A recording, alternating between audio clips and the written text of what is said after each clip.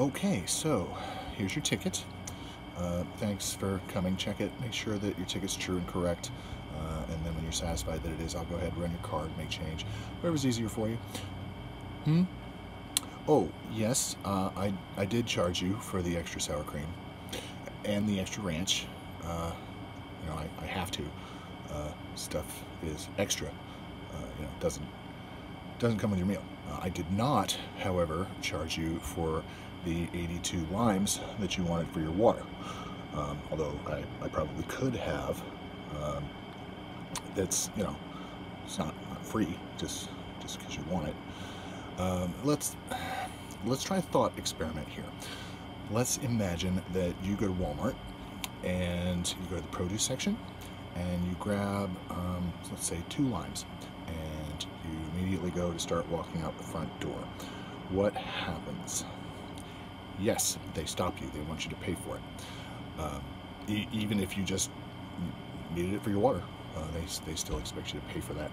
Uh, which kind of makes me wonder, do you do this at home? Do you actually? Do you, like, stock up on limes and put like 82 of them in your water. You just, how many limes do you go through at home a week? I'm just curious. I, I know it's none of my business. I'm just I'm curious. Uh, and, and what was up with the napkins? Like five extra napkins. Like, you, and you, you, didn't even use them.